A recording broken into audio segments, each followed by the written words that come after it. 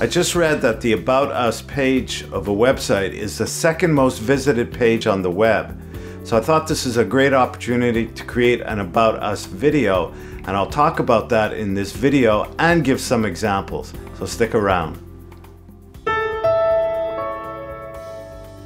I recently attended the C2MTL event in Montreal on creativity and commerce, and there were some fantastic speakers.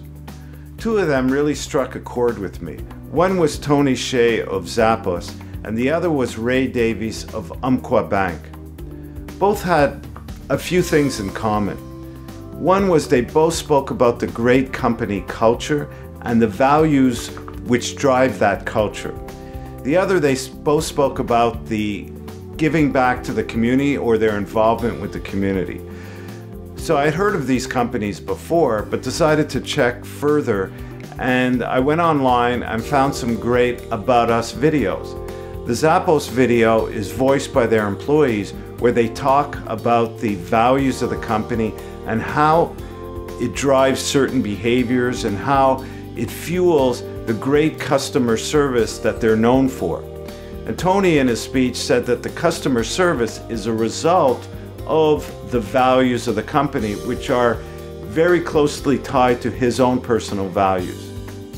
The same is true, it seems, for Umpqua Bank. I'd read about this company before and I was anxious to hear Ray's presentation.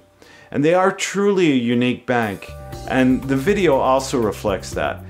It's also voiced by their employees. Both videos are done in a very unique way.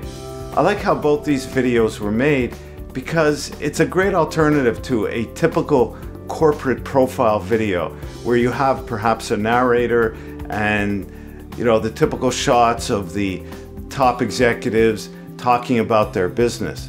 In this case, you feel a kind of closeness with with the company, you feel that their culture comes through and that there's passion and it tells a story about the company so it allows you to build a better relationship with them. And I think today that's what doing business is all about. More and more we want to build relationships with our potential clients. So I encourage you to watch these videos, think about how you could do something similar for your business and let us know if we can be of help. Thanks for watching subscribe to our channel, and talk again soon.